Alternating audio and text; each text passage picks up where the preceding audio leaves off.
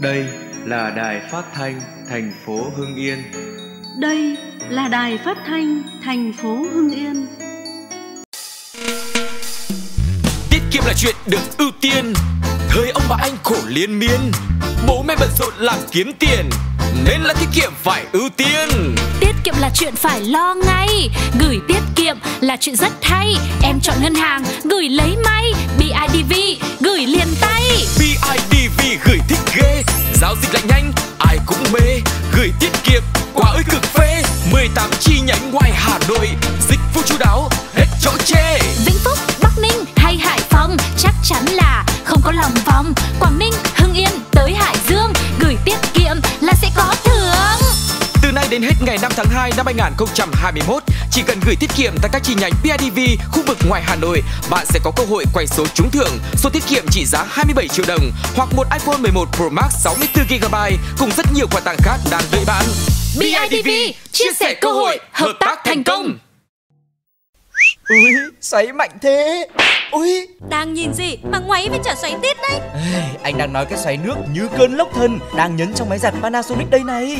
Ôi, xoáy tít thò lò thật đấy. Ừ, vì đấy là xoáy nước Water Bazooka Được tạo ra bởi công nghệ TD Inverter Một công nghệ mới được cải tiến có trên máy giặt Panasonic. À, Nói về công nghệ TD Inverter sẽ giúp tiết kiệm điện năng tối đa, còn thúc đẩy động cơ máy tạo ra cơn xoáy nước mạnh mẽ Water Bazooka, nâng cao hiệu quả giặt rũ. wow, thế thì mọi vết bẩn bám trên quần áo chỉ có bị đánh văng ra hết thôi Đúng thế. Vậy đúng lúc nhà mình đang cần máy giặt mới Đã thấy Panasonic thế này là phải nhích ngay thôi anh Ừ, thì ờ, trời cũng chiều lòng người rồi. Đúng lúc điện máy xanh đang giảm giá đến 15% cho tủ lạnh, máy giặt của Panasonic rồi này.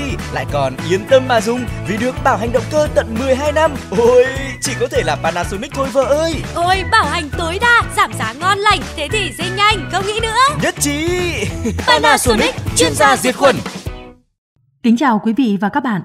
Mời quý vị và các bạn theo dõi chương trình thời sự và ca nhạc của Đài Phát thanh thành phố Hưng Yên, phát trên sóng FM tần số 89,5 MHz. Chương trình sáng nay, thứ sáu ngày mùng 4 tháng 12 bắt đầu bằng phần tin với các tin đáng chú ý. Thưa quý vị và các bạn, sáng ngày mùng 3 tháng 12, Hội đồng nhân dân thành phố khóa 21, nhiệm kỳ 2016-2021 tổ chức khai mạc kỳ họp thứ 12, kỳ họp chuyên đề nhằm xem xét quyết định một số vấn đề quan trọng. Dự chỉ đạo kỳ họp có ông Phạm Huy Bình, Ủy viên Ban Thường vụ tỉnh ủy, Bí thư Thành ủy, bà Trần Thị Tuyết Hương, tỉnh ủy viên, Chủ tịch Hội nông dân tỉnh, cùng các ông bà đại diện Văn phòng Hội đồng nhân dân, các ban Hội đồng nhân dân tỉnh. Về đại biểu thành phố có ông Doãn Quốc Hoàn, Phó Bí thư Thành ủy, Chủ tịch Ủy ban nhân dân thành phố, cùng các ông bà trong Ban Thường vụ Thành ủy, Thường trực Hội đồng nhân dân, lãnh đạo Ủy ban nhân dân, lãnh đạo Ủy ban Mặt trận Tổ quốc Việt Nam thành phố. Thay mặt chủ tọa kỳ họp, ông Nguyễn Bá Cường, Ủy viên Ban Thường vụ Thành ủy, Phó Chủ tịch Thường trực Hội đồng Nhân dân thành phố phát biểu khai mạc kỳ họp. Quý vị và các bạn thân mến, chương trình thời sự và ca nhạc của Đài Phát thanh thành phố Hưng Yên hôm nay đến đây là hết. Cảm ơn sự quan tâm theo dõi của quý vị và các bạn. Xin kính chào tạm biệt. Radio AD, thông điệp từ âm thanh.